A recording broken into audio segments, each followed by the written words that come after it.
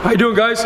Next exercise I have for you involves working on your defensive slide and into the first quick explosive step into your shot. So same thing, all you're gonna need is a basket, a chair, and a ball. So what are you gonna do? You're gonna put the ball in the chair, square up right at the hoop. You're gonna tap your hands on the chair or a stool, whatever you're using. Bang, and you're gonna slide.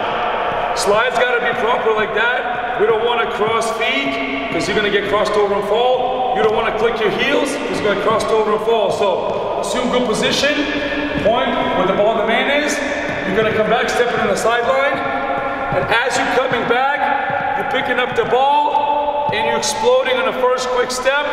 One dribble to the elbow, trying to create as much space as you can into a pull-up. When you finish, so we're gonna alternate. Like I did, I went right, now I'm gonna go left, and it's the same thing. So you wanna alternate until you make 10 shots going left, 10 shots going right, 20 in total, and then jump shot from the middle. So went right, now we're gonna go left, you smack it, you go slide, slide, slide, slide, touch the sideline, slide, slide, slide, slide, pick up the ball, first step, explosion, into a shot.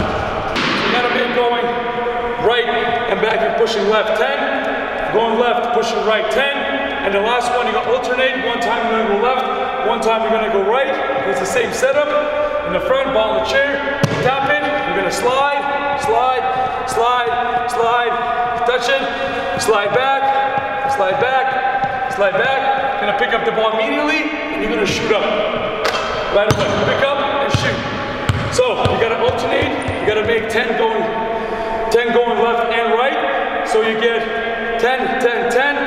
You gotta do that three times so you get 30 makes from each spot. And the top, I was doing about 45, 50%. You guys gotta push yourselves harder and harder to make sure that you guys get better and better because if you go slow or just go the same speed, you're not getting get it, getting better, sorry.